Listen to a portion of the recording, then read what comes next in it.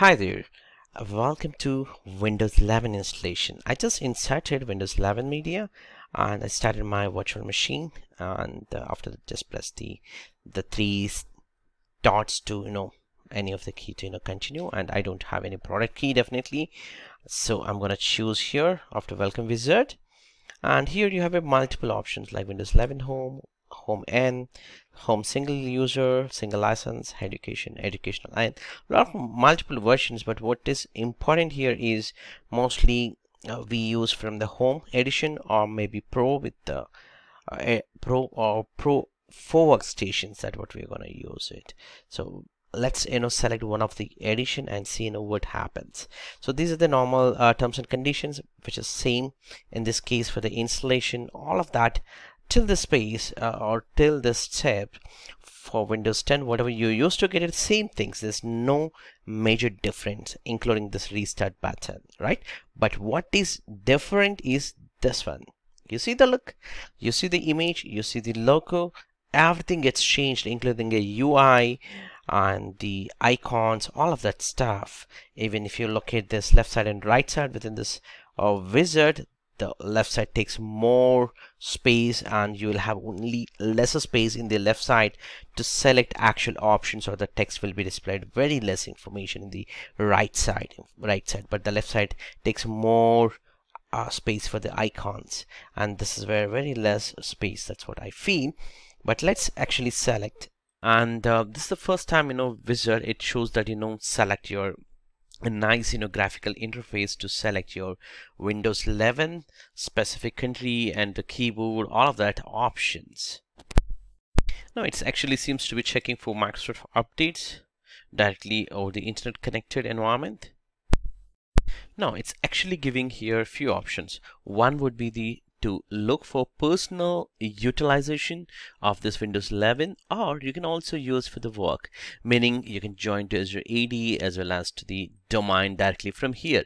But if you choose this again personal it will give you the two options. One is for the online account meaning uh, you might have your Outlook or you might have your Microsoft ID and just log in with that so that it entire desktop and all the documents get synced to your Microsoft OneDrive.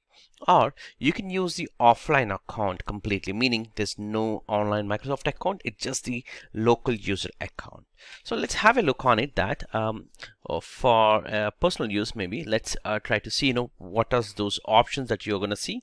As I said earlier if we're gonna uh, have a look on um, a few of the options. Let's say if I choose here uh, corporate then I need to enter here my corporate account meaning a work account or school account all of that windows 11 specific account. But if i choose the uh, more options if you see here you have a domain join instead or you can go back and choose there the uh, setup for personal use. So i'll just select the personal use. Now i have two options. I should you know normally get it. One would be the microsoft online account or personal account with the offline account. So i'm going to choose the offline account so if people are using any kind of you know secure devices that can use the first option.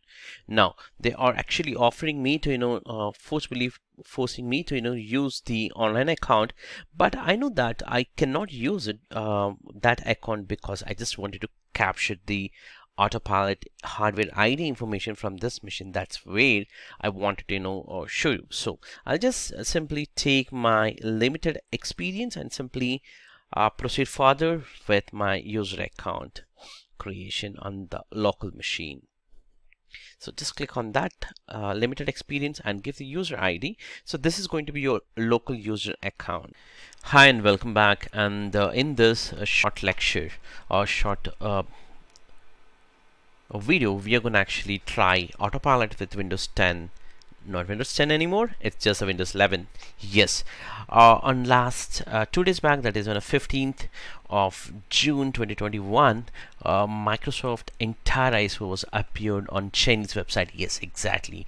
And a Chinese website called uh, it's a most popular one if you might have already heard Baidu. It's a B-A-I-D-U Baidu.